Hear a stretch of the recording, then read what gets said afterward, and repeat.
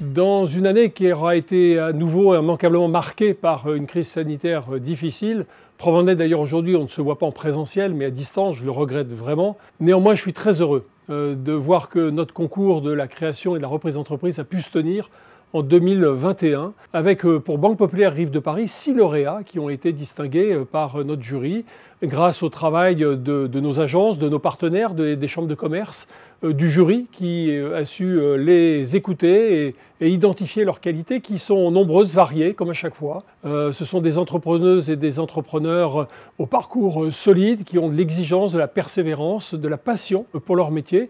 Et moi, je relève une chose de plus sur les six lauréats, Trois d'entre eux ont une démarche très engagée euh, dans le domaine euh, éco-responsable et je trouve que c'est un signe fort euh, bien dans notre temps. Bravo à eux, bravo à, tous ceux qui ont contribué à cette belle dynamique.